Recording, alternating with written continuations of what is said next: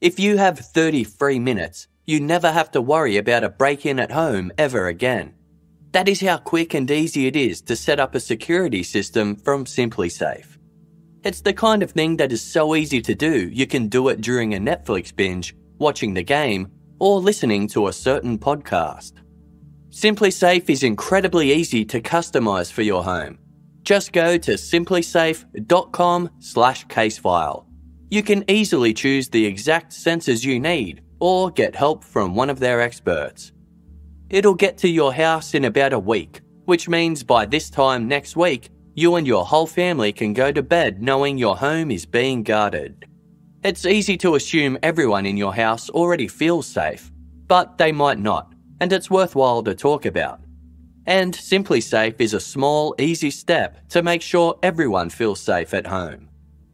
Go to simplisafe.com slash casefile today to customize your system and get a free security camera. You also get a 60 day risk free trial, so there's nothing to lose. That's simplisafe.com slash casefile.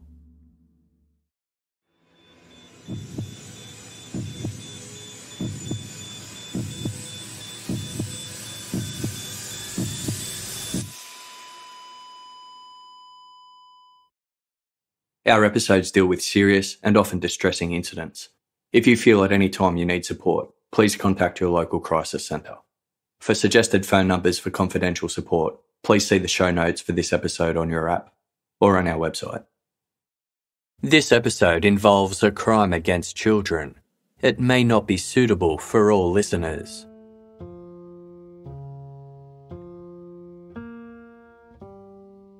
If you travel down Rains County Road 2370 in Texas, just outside the city of Emory, you will eventually come across a narrow gravel road. Following the private road is a bumpy and somewhat lonely journey. It's surrounded by dense woodland and tall pine trees hang overhead, forming a canopy above you. The gravelled ring road has two properties situated 400 yards apart from one another. Aside from that, there is nothing but thick forest and the sound of birdsong to welcome a weary driver. It's peaceful.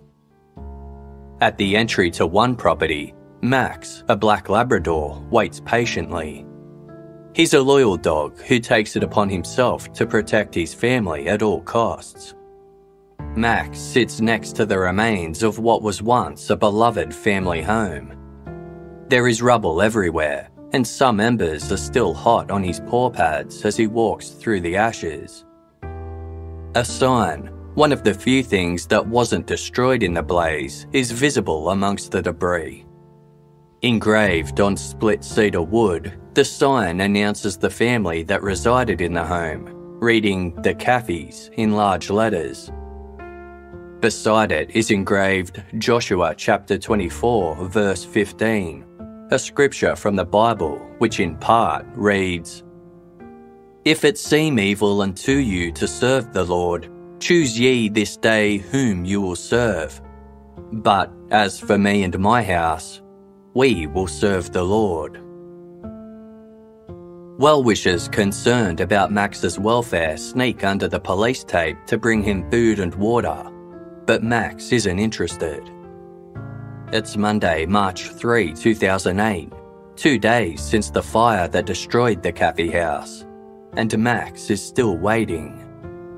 He's waiting for his family.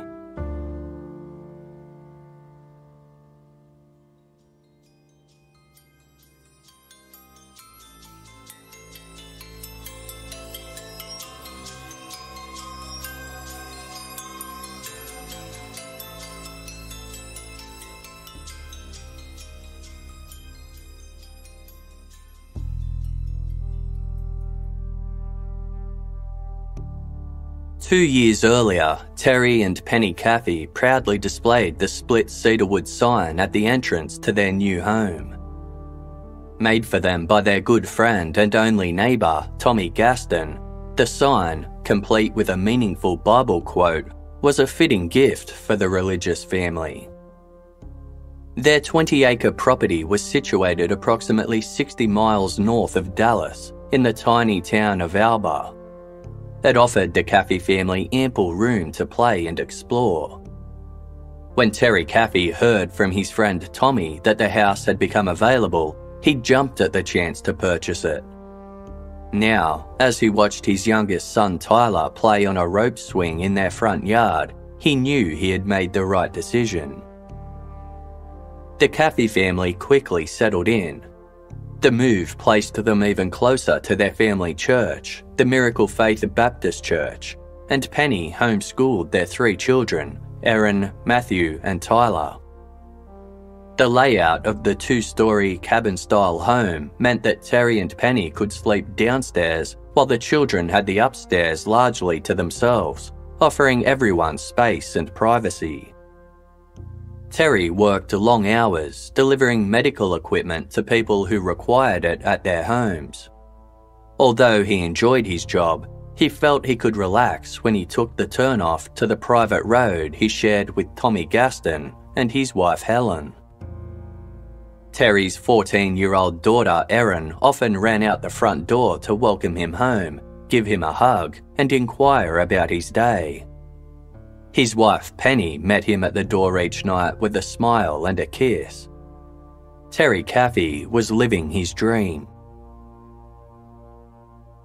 Terry met Penny in 1989 at a church service. They went on their first date a week later and in eight months, the two were married. Terry and Penny wanted nothing more than to start a family. Their wish was fulfilled in July 1991 when they welcomed daughter Erin into the world. In June 1994, the family of three expanded with the birth of son Matthew. Five years later, in April 1999, another son, Tyler, came along. Deeply religious, the Caffey family were described by Alba locals as good Christians who embodied the all American family. Prior to the birth of his children, Terry had spent time working with youth in his church when he felt a higher calling from God. He began studying to become a minister with his goal to become a pastor or evangelist and spread the word of God. Penny, on the other hand, devoted her time to playing in the church gospel band. A gifted pianist who played every day, Penny also performed at other area churches and recorded albums with family friend Tommy Gaston. When she wasn't practicing piano, doing household chores, or homeschooling the children, Penny volunteered her time delivering meals to the sick and elderly the three Caffey children were vastly different from one another. The youngest child, Tyler, was a shy boy with an adventurous streak. He loved nothing more than jumping into the pond on the Caffey property, much to the concern of his careful mother. Middle child Matthew was affectionately known as Bubba due to his size and stature. Although large, Matthew was a kind and gentle boy who loved playing the harmonica and guitar as well as journaling. Oldest sibling Erin inherited her mother's long blonde hair and sparkling eyes. At 4 foot 11, Erin made her presence known with her loud but angelic voice that echoed around the church walls. According to the Texas Monthly, Erin's pastor joked that if he had five Erin Caffeys, he would fill his church on Sundays. Boys followed the teen wherever she went and attended Miracle Faith Baptist Church just to see her. Her father Terry would lovingly tell her that her voice was so beautiful he wanted her to sing at his funeral.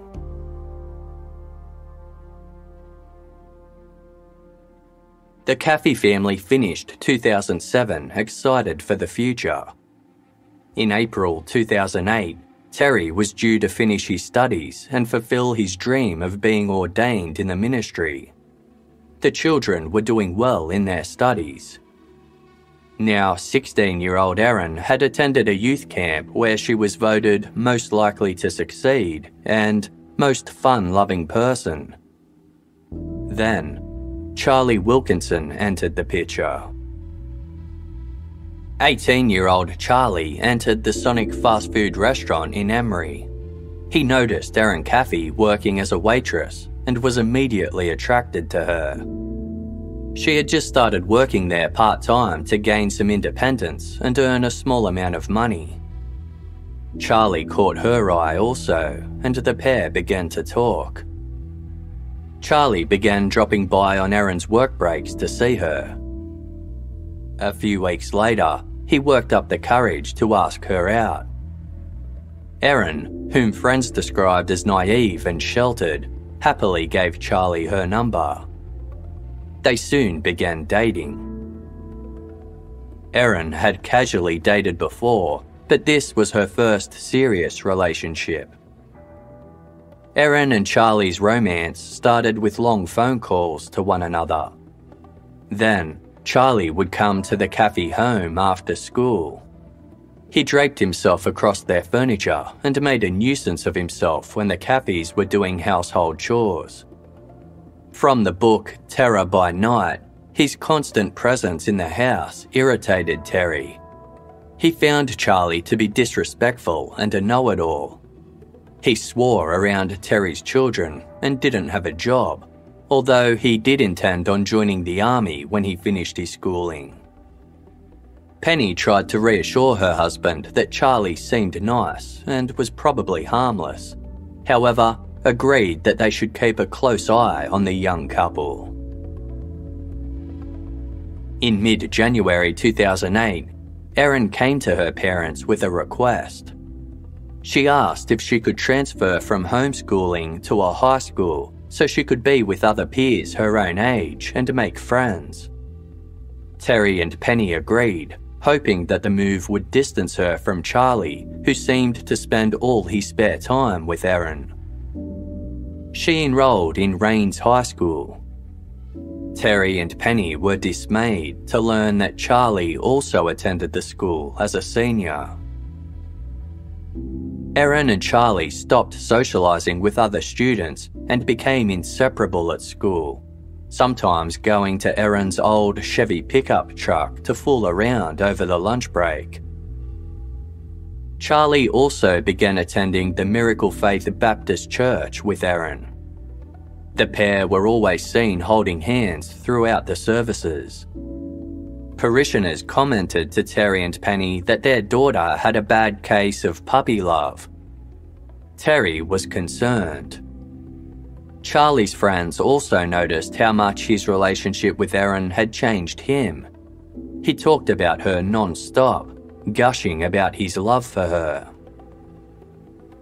Erin couldn't understand why her parents didn't approve of their relationship. Charlie was known to be a bit of a hothead, but was generally well behaved. He didn't cause any trouble at school, aside from the odd occasion where he was asked to remove his cowboy hat for class. One day in January 2008, Charlie and Erin went out for an early dinner. As mentioned in the Texas Monthly, on the way home, Charlie pulled over his rundown Ford Explorer and asked Erin to hop out of the car. On a deserted road, he bent down on one knee and presented Erin with an expensive and intricate ring. Once his grandmother's engagement ring, Charlie offered the ring to Erin as a sign of their friendship and his promise to always be hers. It wasn't a formal proposal, but by giving her the ring, Charlie made it clear that he wanted to propose when the time was right. Erin accepted and later spent the night at church proudly showing the ring to her friends in the congregation. Terry found out about the ring from a fellow parishioner and was furious with Charlie, confronting him about it after church. Charlie agreed to go to the Caffey home the following night Terry wanted to lay down some ground rules. Terry, Penny, Charlie, and Erin sat around the dining table. Both teens listened intently as Terry told Charlie that he was no longer permitted to come around to see Erin every night. Instead, he could visit one night a week and had to leave by 9 pm. Given that the pair saw each other every weekday at school, Erin's parents saw this as a fair and reasonable request. Although not thrilled with the decision, the young couple agreed. For a while, things at the Caffey home went back to normal. Charlie continued to see Erin at church, the pair even singing solo parts one night. However, Terry and Penny noticed a difference in their daughter. She seemed withdrawn, and the happy go lucky, friendly Erin began snapping back at them in conversations. She lost interest in her appearance, leaving the house without doing her hair and makeup, completely out of character. When Charlie visited, he regarded the Caffey family coolly. There was tension in the Caffey household when he was around. On February 27, 2008, Penny Caffey sat nervously at the public library. The Caffey family did not have a computer at home, so relied on public or family members' computers every time they needed to access the internet. Penny searched for Charlie Wilkinson's MySpace page and what she saw horrified her. She called Terry in tears, explaining that her sister had told her that Erin had been on Charlie's MySpace at her house and forgotten to log out of her account. According to Terror by Night, Terry dropped what he was doing to join his wife at the library. The two read posts on Charlie's page, including one comment telling Charlie to bring his bitch of a girlfriend over for the weekend so they could get drunk and have sex. Terry and Penny confronted Erin about the MySpace page later that night. She bowed her head and stared at the floor as Terry told Erin she was not allowed to see Charlie again.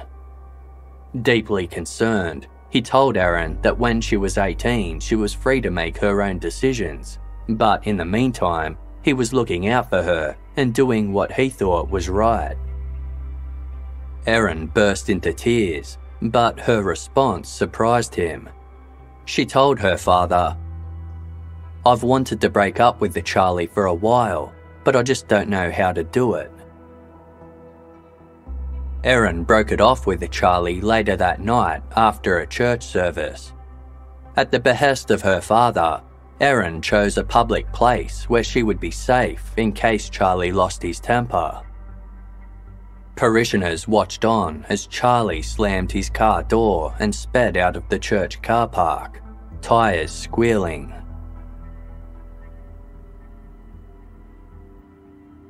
On Friday, February 29, two days after Erin had called things off with Charlie, Terry drove down the gravelled road to home.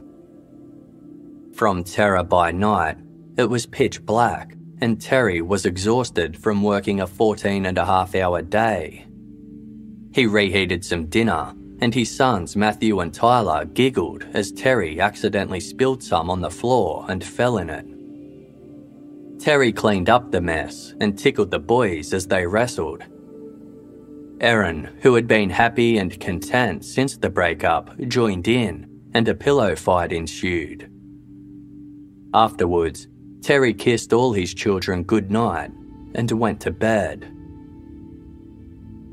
At around 5am the next morning, Terry's neighbour, Tommy Gaston, awoke to a strange banging coming from the front door. It started as a soft thud, but became louder and more insistent as Tommy rose to investigate. Aside from what Tommy and his wife Helen assumed was an early morning storm with thunder rolling in the distance, the two had slept peacefully through the night. Tommy opened his front door. Lying on the ground of the porch was Terry Caffey, who had used his forearm to bang on the door.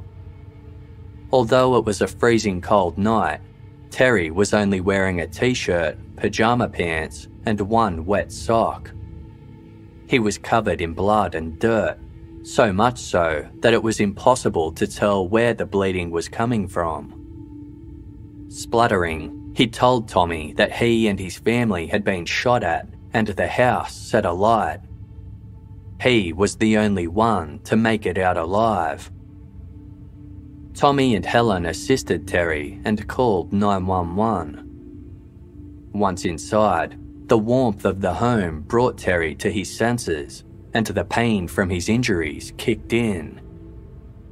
Paramedics arrived, and as Terry was loaded into the ambulance, he was met with Detective Richard Alman from the Rains County Sheriff's Department. He gasped to the detective, I don't think I'm going to make it. Meanwhile, firefighters arrived at the Caffey house and were confronted by a blaze that had engulfed the entire building. Once they had contained the fire, investigators combed through the ashes and rubble. They soon located who they believed to be Penny, Erin, Matthew, and Tyler and sent their bones away for examination. The family dog, Max, could not be coaxed from the area, instead, standing sentry to the property. Members of the Miracle Faith Baptist Church wept for the Caffey family during the sermon that Sunday morning of March 2. The family's longtime pastor, Todd McGahey, struggled to maintain his composure. He affectionately remembered the Caffeys, who were like family to those in the congregation. Quote, I don't even think I would have crawled out of the house. But God had a purpose for Terry's life. God has a reason. God gave him the strength to get out. The parishioners mourned the loss of the Caffey family, but there was also a lingering question in their minds. What had gone on that night? Terry Caffey was admitted to the East Texas Medical Center Intensive Care Unit. He had been shot five times, but none of the bullets had penetrated major organs. Several of the wounds had clear entry and exit points, and two bullets were lodged in his right arm. The most severe injury was from a bullet that entered Terry's right cheek, passing through his sinus cavities before exiting out his left ear canal. Drifting in and out of consciousness due to shock and painkillers, surgeons waited until Terry was stable enough to undergo surgery. When safe to do so, Terry successfully underwent surgery to remove the bullets lodged in his upper body. He regained consciousness and became more lucid the following day. Terry's miraculous survival enabled police to understand what exactly had taken place at the Caffey home on Friday, February 29. That night, each family member retired to bed one by one. The house was in total darkness when Terry was roused from his deep sleep by Max, who was barking at the front of the house. He glanced at his alarm clock. It was just past midnight. Assuming Max was hunting a wild animal that had strayed into the yard, Terry rolled over and went back to sleep. A few hours later, a loud noise jolted Terry wide awake. It was the sound of the bedroom doorknob hitting the dryer that was located just behind the door. Terry initially thought son Tyler had suffered a nightmare and was coming in to sleep in their bed. He sat up to reassure him when the sound of gunfire rang out. Penny screamed a black silhouette of a man appeared in their bedroom doorway, highlighted by the kitchen nightlight beyond. Terry could not recognise his features, but did see the gun he held pointed at Penny. He reached out his arm to shield his wife from the gunfire and was struck five times. The final shot hit Terry in the face and he was thrown into the space between the bed and the wall. He lay motionless, face down on the floor as the gunman approached. He felt someone kick his feet to see if he was dead. Terry squeezed his eyes shut and kept as still as he could. The gunman made his way out of the bedroom and into the lounge. He was not alone. The intruders began rummaging through the Caffey's belongings, taking all the jewellery and cash they could find. They overturned furniture and pulled items from the top of the piano. One slammed his fists on the piano keys. Then they stopped. They could hear screaming coming from upstairs. Terry woke to the taste of blood and gunpowder and realised he had momentarily passed out. He couldn't feel the right side of his body, but knew he had to get up. Using all the strength he could muster, Terry lifted his body with his left arm up onto the bed. Penny lay slumped over at the head of the bed in a large pool of blood. His thoughts immediately turned to Matthew, Tyler, and Erin. Terry could hear screaming and then a further round of gunshots coming from upstairs. The house became silent, and Terry passed out again. The smell of smoke roused Terry once more. Blood ran into his eyes, making it difficult to see. He tried to make it to the stairs leading to the top floor where his children were located. But by this stage, a fire had well and truly taken hold, and the flames made it impossible to progress. Realizing he would never make it upstairs from the inside of the house, Terry escaped through the bathroom window that joined his bedroom. The injured Terry fell five feet to the ground below and took cover behind the property's propane tank. He knew he had to reach his three children. Moving to the front of the house, he tried to find an entry point, but the house was engulfed in flames. Terry felt weak and lightheaded. He crawled into the dense forest at the rear of his house and waited for emergency services to respond certain that someone would have noticed the blaze from the road or the deafening explosions that rocked the early morning air. As minutes ticked by, Terry realised that nobody was coming. Their house was so remote that even their closest neighbours mistook the sounds for distant thunder. Terry didn't care if he died as well he wanted to be reunited with his family in heaven. But he had one more mission to complete. He knew who was responsible for the attack and had to tell someone. Terry began the long trek to his neighbour Tommy's house 400 yards away. Unable to walk for any longer than a few yards at a time, he began crawling through the dense forest leaving a trail of blood behind him. Every so often, he had to rest, laying his head on logs while he mustered the strength to continue on.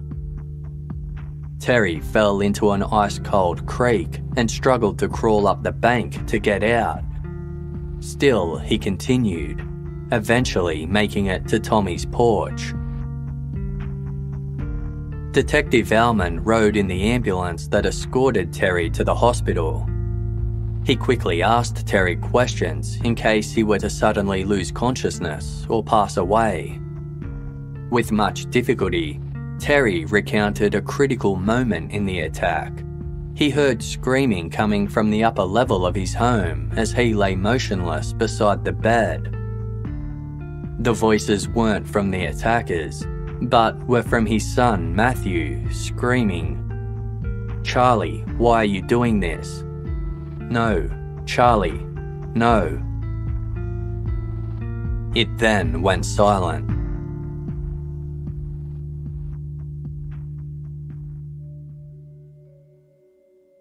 Detectives theorised that Charlie Wilkinson had killed the Caffey family in retaliation for Erin breaking up with him. Chief Deputy Sheriff Kurt Fisher already knew where Charlie was staying. Being a small town where everyone knew one another, he had seen Charlie's car parked outside his friend Charles Waid's trailer that morning. He returned to the blue trailer with the deputy sheriff Ed Emig and knocked on the door. Charles Waid's brother answered. He was unsure if Charlie Wilkinson had spent the night in his trailer, but let the officers in to have a look around. The trailer was in disarray, with clothes and beer cans strewn about. Deputy Sheriff Fisher came across Charles Waid and his girlfriend Bobbi Johnson sleeping in one room. According to the Texas Monthly, he continued down the hallway of the trailer when he came across a room with a blanket hanging on the door. Pulling it aside, he shone his flashlight into the room and found Charlie Wilkinson lying awake on his bed. He was wearing blue jeans with no shirt. A semi automatic handgun lay on the floor beside him. Deputy Sheriff Fisher handcuffed Charlie to take him in for questioning. He denied being anywhere near the Caffey property the night before, explaining he had gotten drunk and passed out in the trailer. Deputy Sheriff Emig went back into the trailer to retrieve some clothes for him to put on. When he picked up his cowboy boots, they were covered in blood spatter. While holding Charlie at the county jail for questioning, Deputy Sheriff Fisher obtained a search warrant and went back to the trailer. In the living room, he found a purse. The driver's license inside belonged to Erin Caffey. He returned to the bedroom Charlie Wilkinson had been sleeping in and began searching for more evidence to tie him to the attack. He picked up a long sleeved button up shirt from the floor, and a used condom fell out. Fisher moved the blanket that was lying on the floor near the closet. As he did, he saw a wave of long blonde hair. Thinking it was a wig, he pulled it aside. He got a shock when he realised it wasn't a wig at all. The hair was attached to a person. It was Erin Caffey.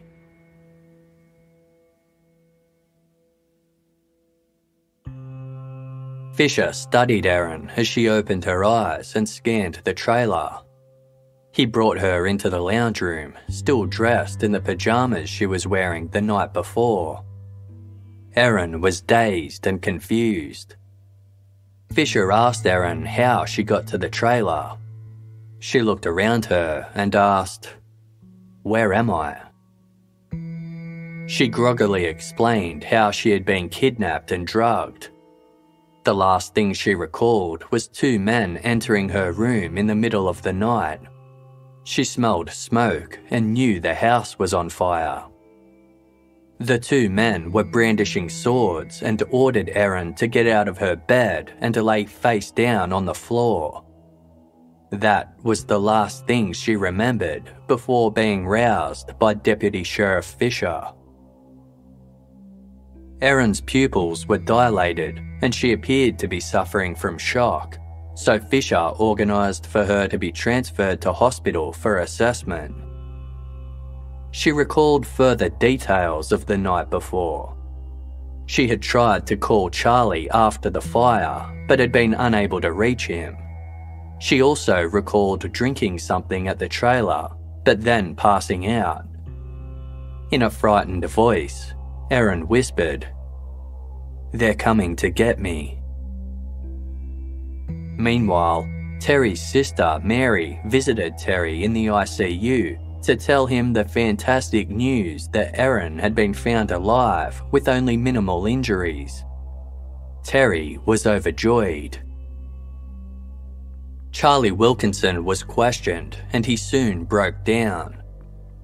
He openly acknowledged his role in the fire and the murders of Penny, Matthew, and Tyler, and the attempted murder of Terry, telling detectives, I'm in a lot of trouble.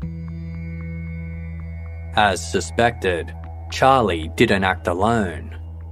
He named two others, friends Charles Waid and Bobbi Johnson, as accomplices. However, Charlie was adamant about one aspect of the attack on the Caffey family that detectives had wrong. He did not kidnap Erin Caffey. She was a willing participant.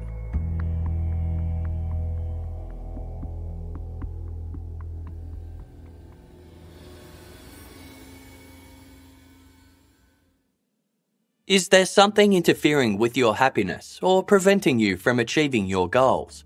BetterHelp will assess your needs and match you with your own licensed professional therapist. BetterHelp isn't a crisis line or self help. It's professional counselling done securely online and it's available for anyone, anywhere in the world.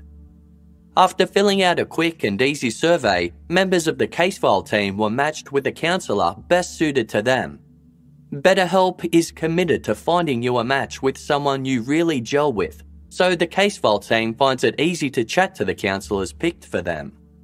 They really understand what's going on and are great to bounce ideas off, and the feedback has always been timely and useful. BetterHelp wants you to start living a happier life today. Visit betterhelp.com slash casefile. That's better, H-E-L-P and join the over 1 million people who have taken charge of their mental health with the help of an experienced professional. In fact, so many people have been using BetterHelp that they are recruiting additional counselors in all 50 states. This podcast is sponsored by BetterHelp, and Casefile listeners get 10% off their first month at betterhelp.com slash casefile. Small changes toward a healthier lifestyle can add up in a big way. Not sure where to begin? Introducing Grove Collaborative. Grove is the online marketplace that delivers healthy home, beauty, and personal care products directly to you. Grove Collaborative takes the guesswork out of going green. Browse the site for thousands of products, all guaranteed to be good for you, your family, your home, and the planet. A member of the Casefile team ordered some cleaning products from Grove Collaborative. Her favourite item was a glass spray bottle, which is not only functional but also beautiful. She can mix the fresh smelling cleaning concentrates in the bottle and reuse over and over again to minimise waste. Join over 2 million households who have trusted Grove Collaborative to make their homes happier and healthier. Plus, shipping is fast and free on your first order. Making the switch to natural products has never been easier.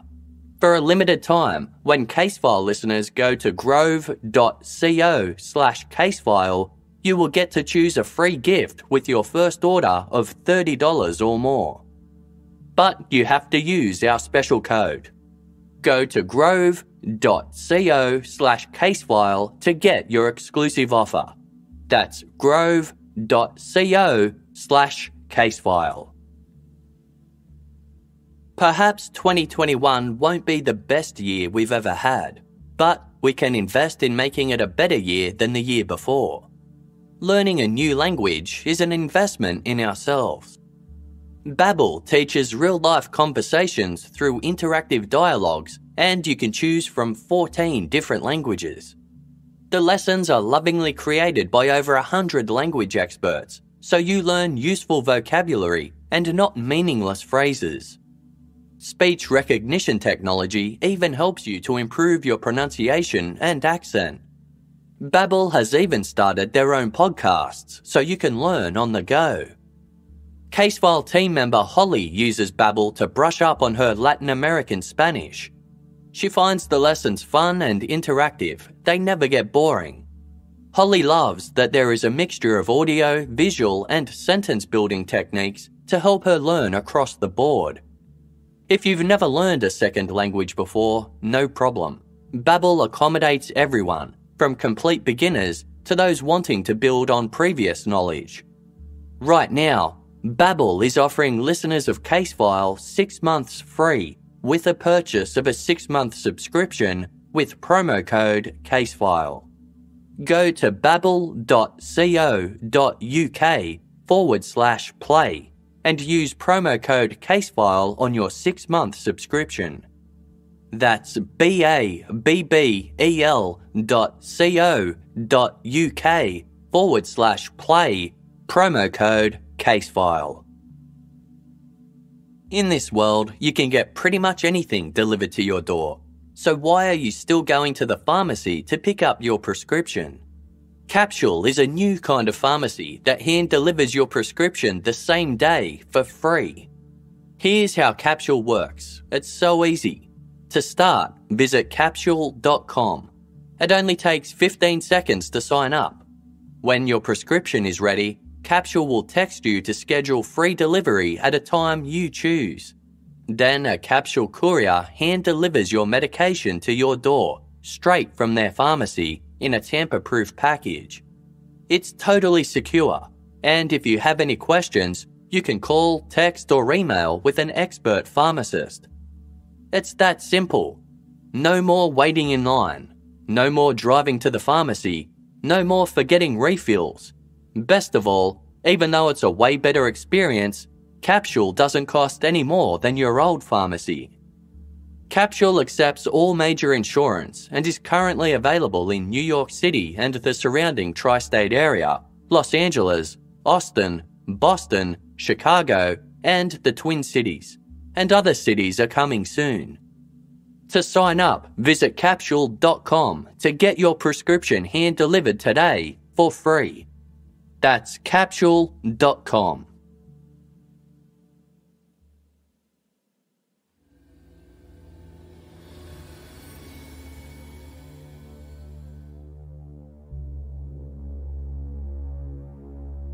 Charlie Wilkinson's version of events on the night of the attack varied significantly to the details provided by Erin.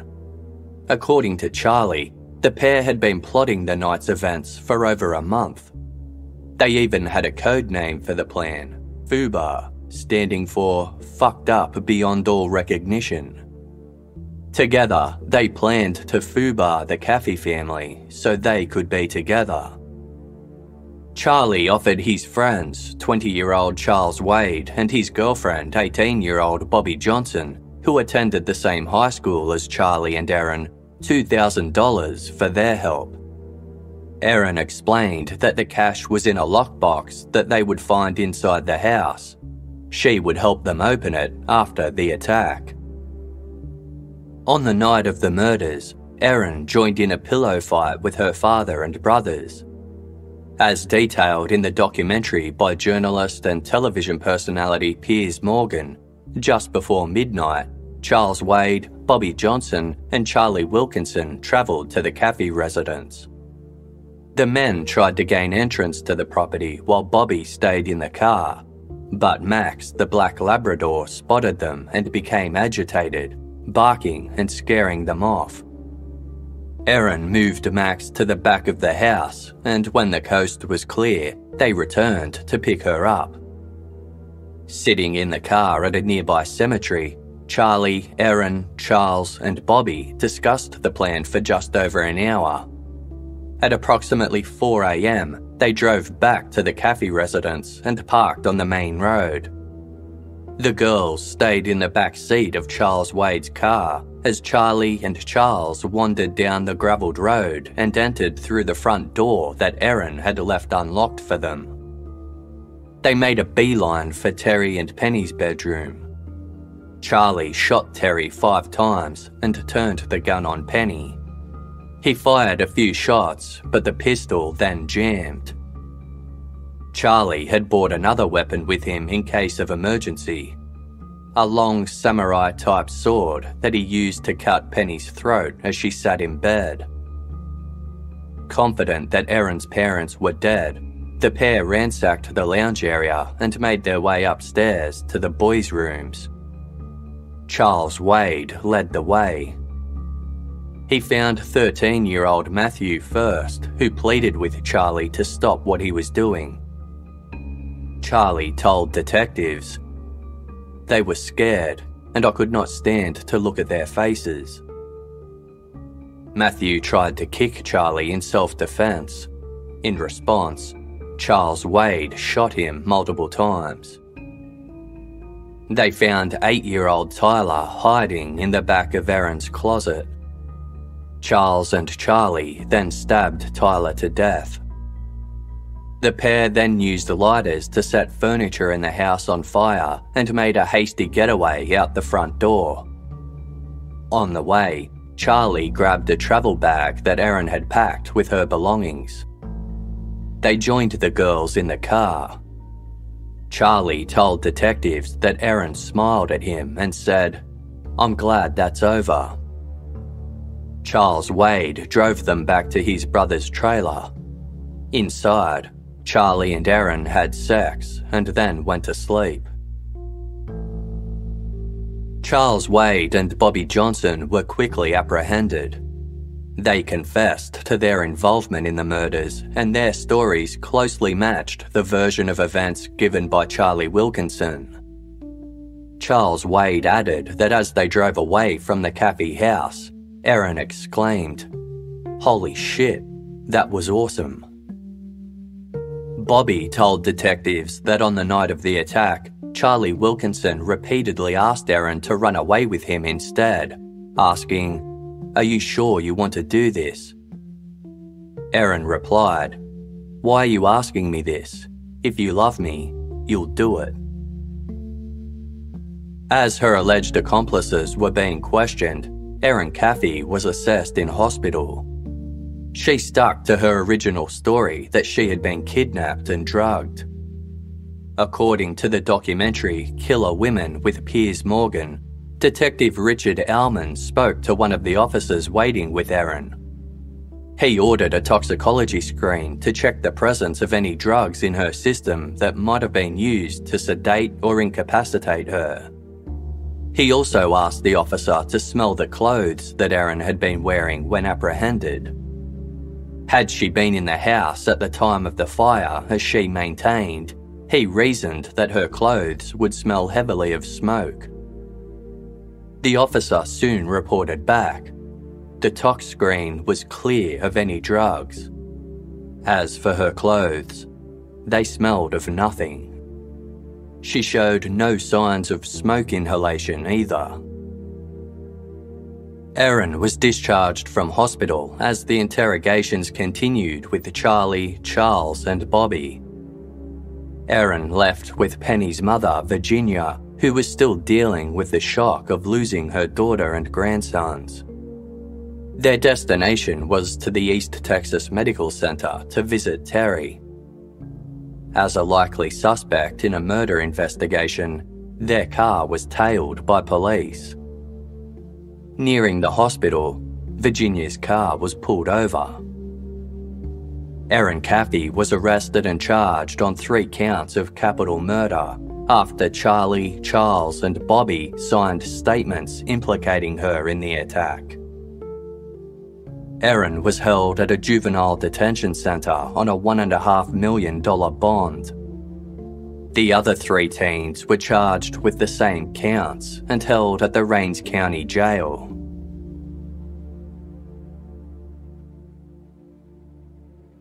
As he recovered in hospital, Terry Caffey noticed the staff around the ward acting strangely. Nurses spoke to him without making eye contact and others tried to avoid him altogether. As soon as he thought about it, the pain medication would kick back in and he'd drift off to sleep. On Monday, March 3, Terry pleaded with his sister to tell him what was wrong. She eventually conceded, telling Terry that Erin had been arrested and why. Deputy Sheriff Kurt Fisher visited Terry in hospital to tell him the news. Terry asked how his daughter was, explaining that no one would tell him a whole lot and he wasn't allowed to watch the news. Deputy Sheriff Fisher reassured Terry that she was doing fine. Terry then said he didn't want to know a whole lot of details, but asked what her level of involvement was. The deputy sheriff paused before responding. Her involvement is great. Terry sobbed as Fisher explained that Erin was believed to be the mastermind behind the attack on his family. Rains High School was also feeling the emotional impact of the crime, with word quickly spreading that three of their fellow students had been arrested. Of particular shock was the alleged involvement of Bobbi Johnson, the friendly teen who was well known for her involvement in the school theatre. As reported in the Associated Press, the Rains High School superintendent said, These were students who had not been in trouble a great deal. Maybe some tardies and absences, but that's it. State Prosecutor Lisa Tanner continued to gather evidence to prove the extent of Erin's involvement in the murders. Phone records revealed that Erin had called Charlie's cell phone repeatedly in a short burst in the early hours of Saturday morning. This corresponded with Charlie's version of events that after Erin restrained Max for them, she then called Charlie many times, asking where they were and when they were coming back. Erin was at a loss to explain the records, given that she maintained she was in bed asleep. Additionally, both Charles Waid and Bobbi Johnson admitted that Erin was the one responsible for the murders. From the book Terror by Night by Terry Caffey, Erin had spoken to them for a month about the killings, saying she wanted her parents dead because she was so angry at them for not condoning her relationship with Charlie. As for her siblings, she told the pair that she wanted Matthew killed because he would talk, and Tyler killed because she just didn't like him. Charlie, Charles, and Bobbi all maintained that they had tried to talk Erin out of the murders in the lead up, suggesting that she run away with Charlie instead. But Erin insisted she wanted them dead. She told them that her parents repeatedly punched and slapped her. However, all teens admitted that they had never seen any markings on Erin to prove her allegations.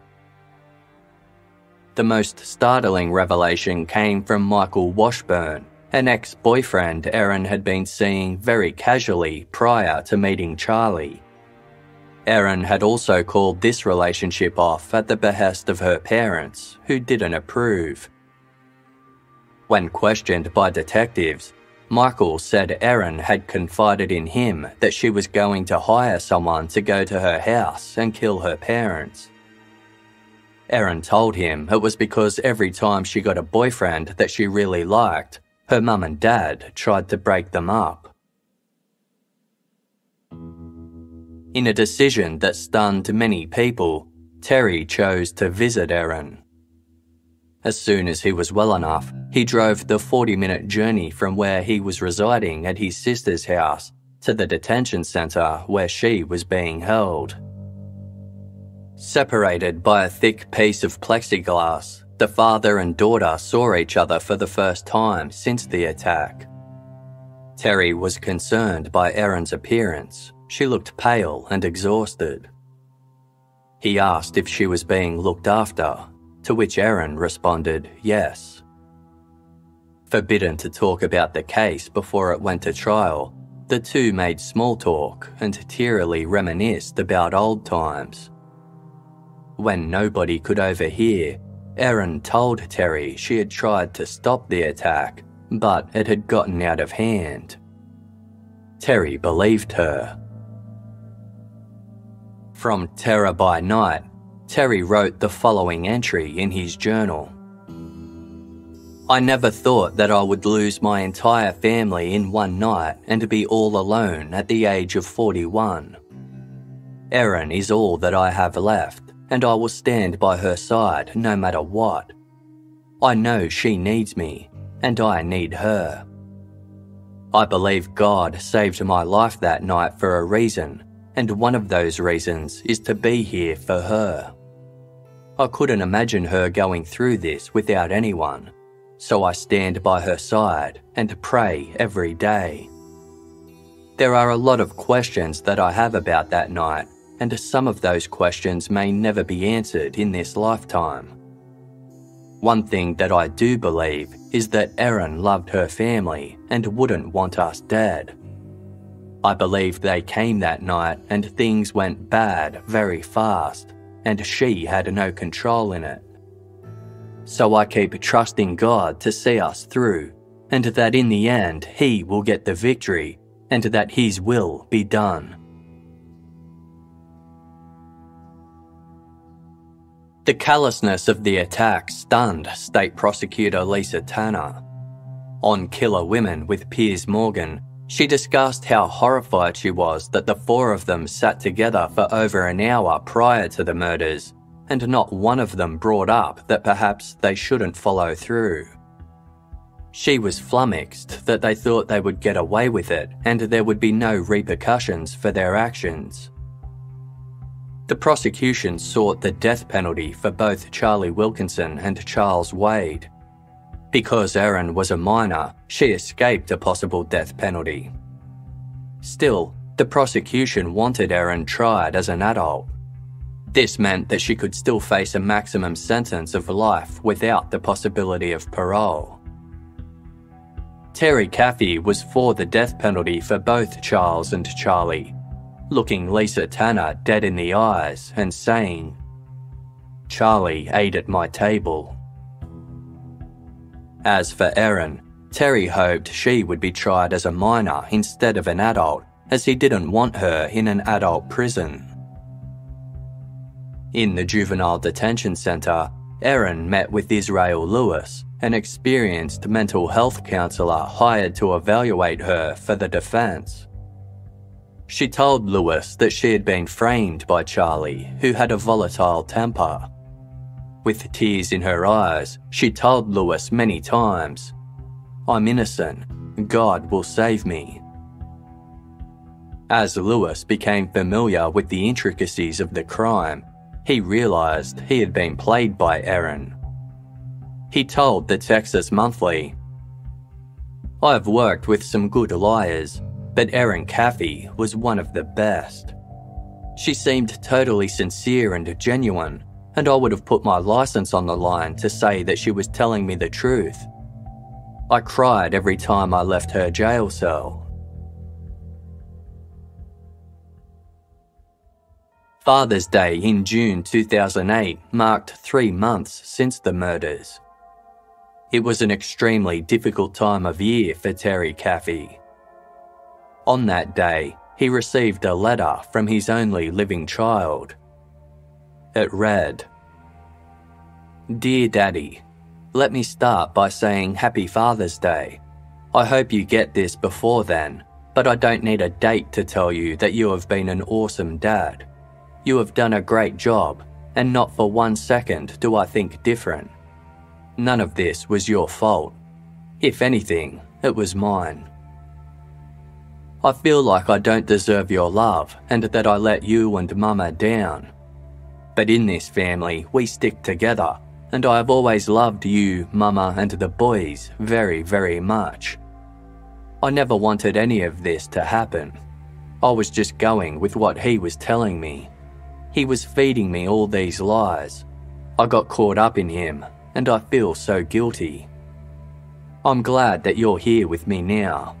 If it wasn't for you, I don't know what would have happened to me. I love you. Even though this has happened, I still feel sad, but at the same time glad that I'm free from the pressure that was being put on me. I miss Mama and the boys, but I know where they are. I know they would be proud of you. I am too. No matter what anyone says, you have been a great dad and did a great job of raising me. No matter where I go or who I'm around, I will never forget where I came from. And I dream one day of walking together in our property hand in hand. I do believe that will happen. Anyway, I love you and happy Father's Day. Keep the faith. God's about to show us His mercy. Love, Erin. Terry's eyes filled with tears as he read the letter. It reaffirmed his decision to always be around for his daughter.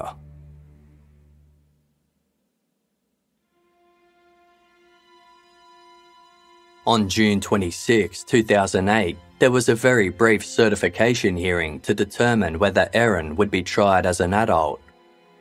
The district attorney argued that Erin should stand trial as an adult and was a danger to both herself and the community. The judge agreed, and both Terry and Erin cried as she was led away and transferred to Hopkins County Jail, where, due to her age, she was placed in protective custody to await trial. In October that year, Terry Caffey had a change of heart. He wrote a letter to the Attorney General's office to request that the death penalty be taken off the table for Charlie Wilkinson and Charles Waid. Terry reasoned that there had been enough deaths already and rather a life sentence without parole would give them a chance to show remorse and repentance. In meeting with Lisa Tanner the following day, Terry said to her, When it comes time for them to die, I want that to be in God's hands, not mine. Three months later, on January 2, 2009, Bobbi Johnson and Erin Caffey were sentenced for their roles in the murders after both pleaded guilty to three counts of capital murder. As an accomplice to murder who did not use a weapon, Bobbi accepted a plea deal in exchange for a trial and received a 40 year sentence with the possibility of parole in 20. Prosecutor Lisa Tanner requested that Erin serve three life sentences with an additional 50 years, meaning she would never see the world outside of a prison. After some negotiation with Terry, Erin signed a plea bargain for a sentence of two life sentences and an additional 25 years, with the possibility of parole. Four days later, Charlie Wilkinson and Charles Waid faced sentencing. Both teens also avoided a trial because they had already pleaded guilty. A trial would have only been conducted to ascertain whether they were to receive the death penalty or life imprisonment. Because the death penalty had been taken off the table, it rendered a trial unnecessary. Before the formal sentencing, Terry met with both Charlie and Charles separately. Charles Waid expressed remorse for what he had done, saying he only agreed to the plan because he needed the money promised to him by Erin and Charlie to pay for court fees. He was trying to gain custody of his children. As mentioned in Terror by Night, Terry Caffey asked him so you were willing to kill children to get children. Where's the logic in that? Charles Waid shook his head and said, I really don't know. I can't answer that. I have kids of my own. When Terry spoke with Charlie, he also expressed remorse for his actions. His eyes welled with tears and he hung his head refusing to make eye contact. He told Terry he did it out of love for Erin. In the courtroom, Terry read a victim impact statement to Charlie and Charles. Excerpts read At first, I had so much anger, so much bitterness towards you, but in time, God has shown me what it means to forgive.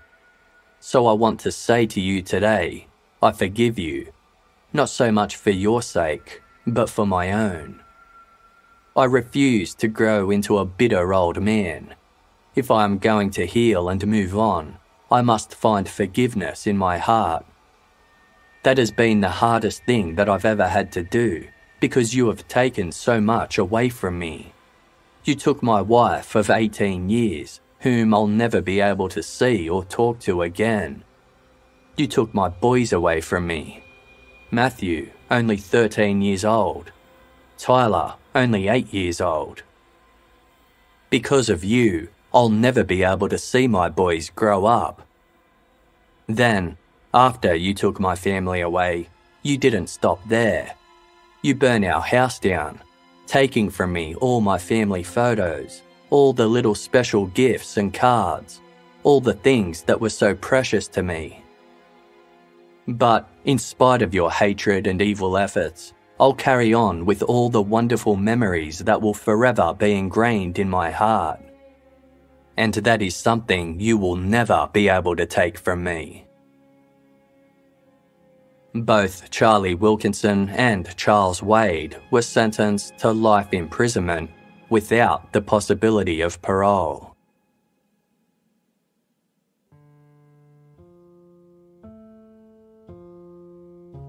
In April 2009, Terry Caffey became an ordained minister.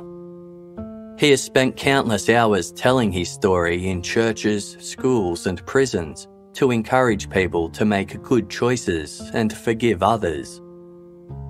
Following the murders, Terry found Max a new and loving home, unable to care for his family dog due to his state of health. Once a month, Terry makes the six hour round trip from his new home to visit Erin at the Texas Department of Criminal Justice Women's Prison at Gatesville. Whilst Terry believes that Erin must have had some degree of participation in the murders, he doesn't believe that she was the ringleader, nor that she wanted her family dead. He told the Texas Monthly, I think she thought Charlie was just blowing smoke. I don't think she actually thought he would go through with it. I know my daughter. She cried one time when we were in my truck and I ran over a squirrel. She's tender hearted. No kid's an angel, but I know what she is capable of, and I know she's not capable of murder. Erin also still denies being the mastermind behind the attack, alleging that she wanted to run away, but the others forced her to stay in the car while they carried out the murders. She has even appeared on the Dr. Phil show via prison to defend herself. On Killer Women with Piers Morgan, Erin said she's no longer in love with Charlie Wilkinson, whom she has not seen or spoken to since their arrest. With good behaviour, Erin could be out on parole at 59 years of age. Erin says the first thing she will do when she gets out of prison is go to the gravesites of her mother Penny and brothers Matthew and Tyler to pay her respects. Charlie Wilkinson was incarcerated in the Polunsky unit in Livingston. He questioned whether Erin ever loved him or if he was just a pawn she could order about. He told the Texas Monthly that I would have done anything for her. She was very smart, very caring. I don't know why she wanted it done, why it had to be done like that, but she was a very nice person. When asked if he still loved Erin, Charlie responded, Once you love somebody, you can't quit. You always will. In the aftermath of the murders, Terry Caffey considered taking his life, unable to deal with the despair of losing his family. He desperately searched for a sign from God for any kind of guidance to help him move forward. Six weeks after the attack, he found it. Terry stood amongst the rubble where his house used to be. Bulldozers had cleared most of the debris and levelled out the block. Out of the corner of his eye, he spotted a piece of paper that had blown against the trunk of a nearby pine tree. The paper, burnt black around the edges, had survived the fire and the subsequent clearing of the land. It was from a book owned by his wife. The first few lines of the page were of one of the book's characters talking to God. It read, I couldn't understand why you would take my family and leave me to struggle along without them.